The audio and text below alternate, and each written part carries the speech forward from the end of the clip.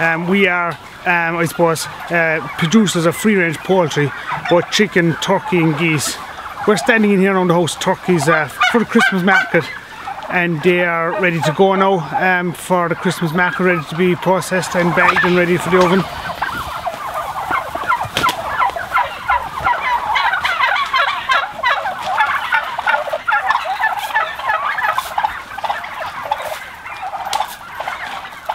They're out all year round, are they? They, they, they come in in September. We buy them in August, September. We buy some at one day old, and we buy more of them at five weeks old. And once they come to six weeks and they settle in, we leave them out every day once the weather's fine, uh, right up to even this morning they were outside. And it stops them getting stressed and they're happy and they're in the natural environment outside in the, in the, in the green grass. And um, we feed them inside then and water them inside and we lock them up to keep them away from the fox and everything else every night.